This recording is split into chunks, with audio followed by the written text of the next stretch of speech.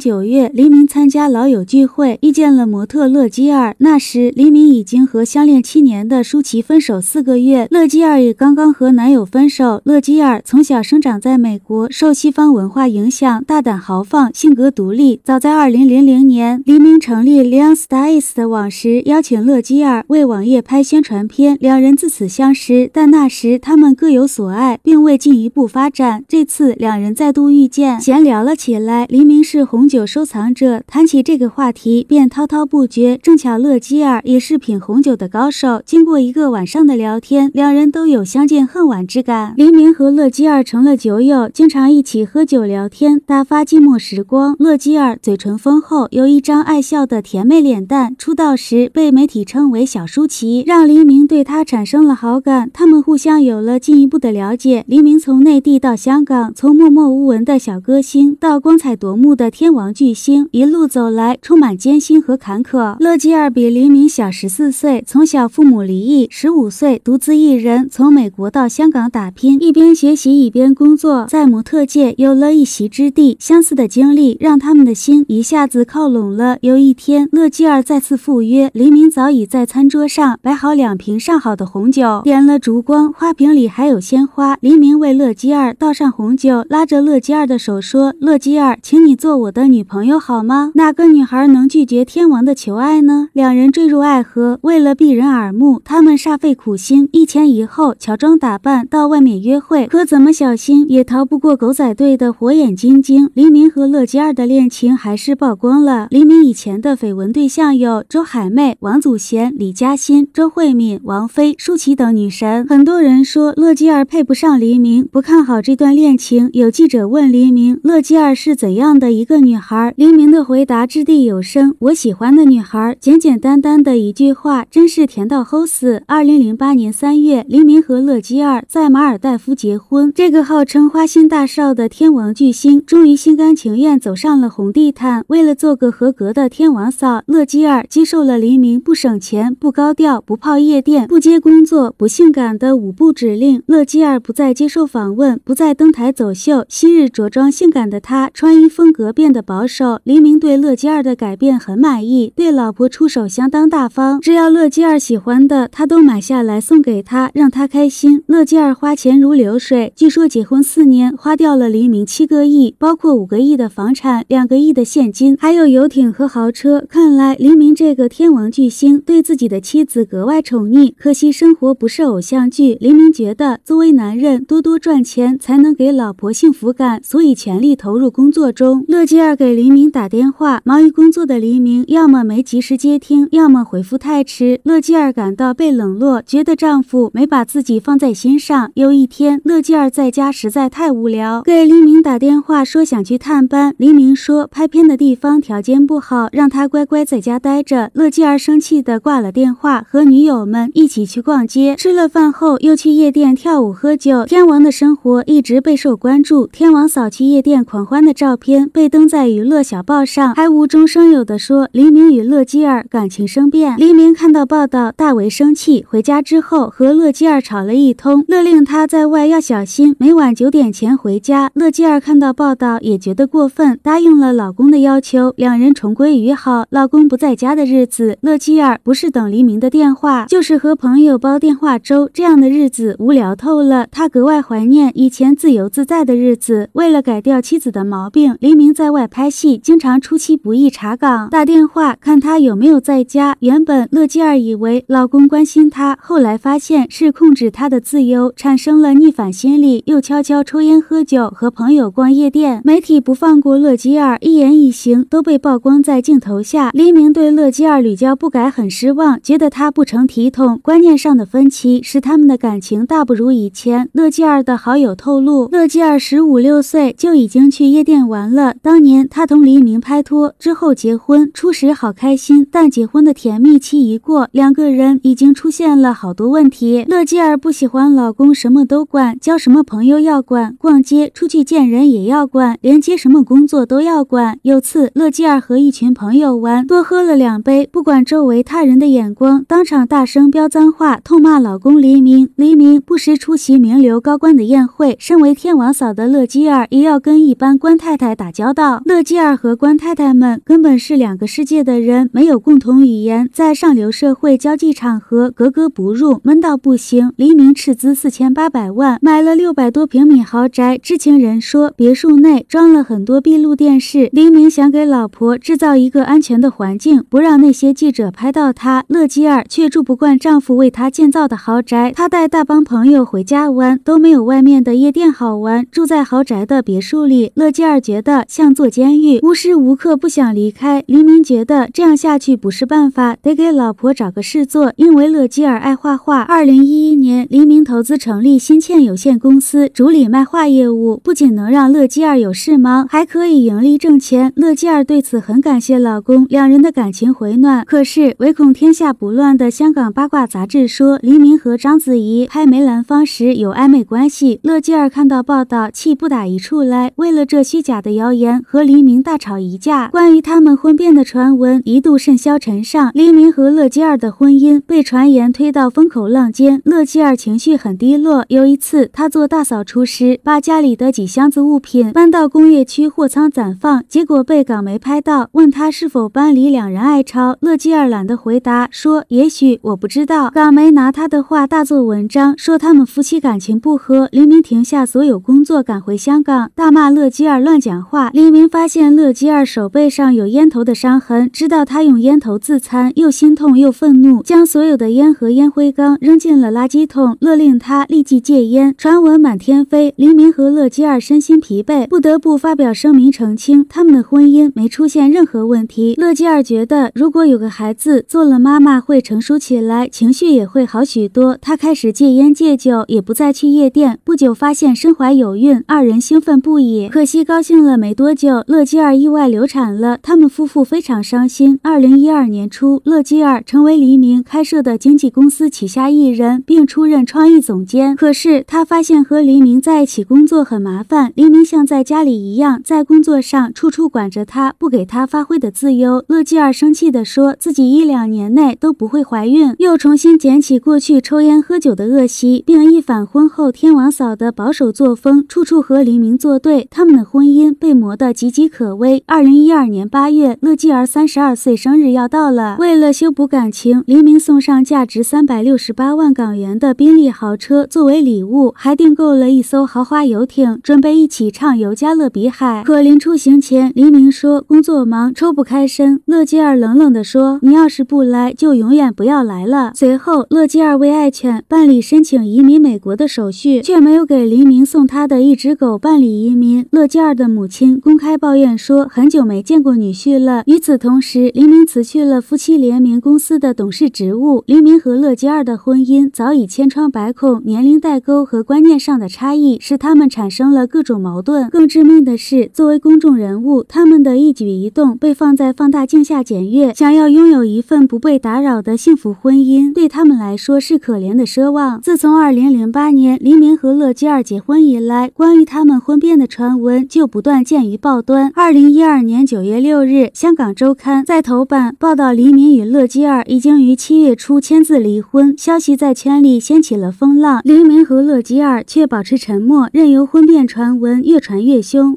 好了，以上是本期的内容。如果您喜欢我们的节目，欢迎订阅、点赞、转发，感谢大家的支持。